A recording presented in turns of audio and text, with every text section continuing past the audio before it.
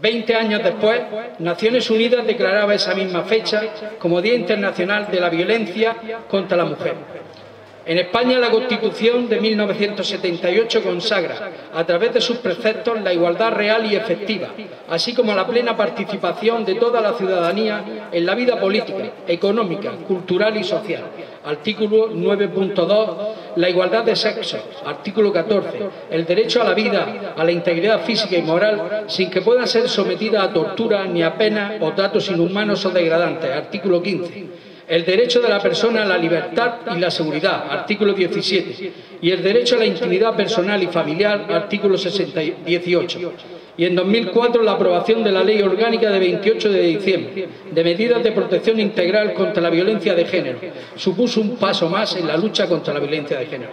A pesar de todos los esfuerzos, la histórica desigualdad entre hombres y mujeres continúa afectando no solamente a su integridad física, sino al reconocimiento de su dignidad.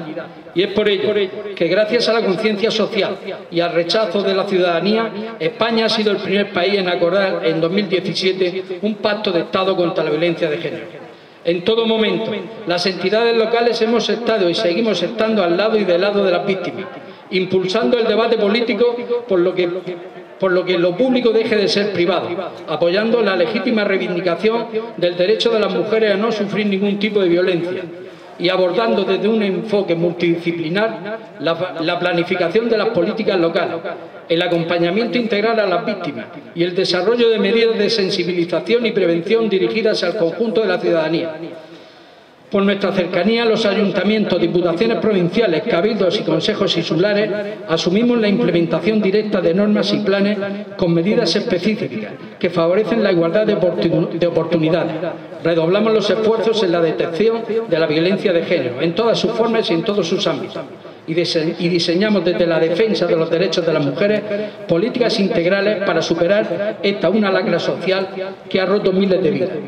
Como gobierno local más cercano al ciudadano, invitamos a todas las entidades locales a adherirse a esta declaración y nos sumamos a todas las voces que claman por un futuro en igualdad.